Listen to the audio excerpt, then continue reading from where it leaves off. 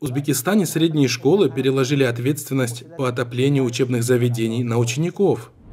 Азадлик со ссылкой на жителя города Андижан сообщает, что руководство школы поручило каждому ученику принести в школу по одному мешку дров или угля, или внести взнос администрации школы в размере 20 тысяч сумов.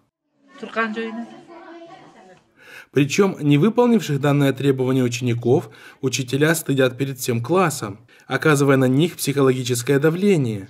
Местные жители сообщили журналистам, что ежемесячно каждый ученик должен приносить в школу по одному мешку дров или угля. Руководство школы говорит нам, если не сможете принести уголь или дрова, то сдайте деньги. В школе учатся трое моих детей. Получается, что каждый месяц я должен относить в школу по три мешка дров или сдать 60 тысяч суммов. Если не выполню это требование, по словам моих детей, их будут унижать перед одноклассниками, говоря, твой отец не в состоянии принести в школу даже один мешок угля. Неужели местная администрация не может обратить внимание на школы?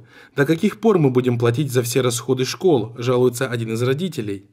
Наблюдатель отмечает, что проблема с обеспечением школ сохраняется в Узбекистане уже на протяжении многих лет.